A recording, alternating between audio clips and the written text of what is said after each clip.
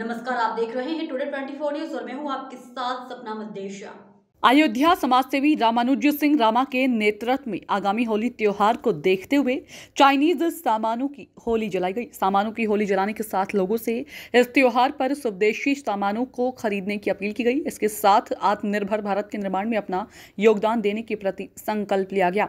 समाजसेवी रामानुज सिंह रामा ने कहा कि प्रधानमंत्री नरेंद्र मोदी ने लोकल फॉर वोकल अभियान के तहत होली पर स्थानीय सामग्रियों की खरीद की अपील की थी।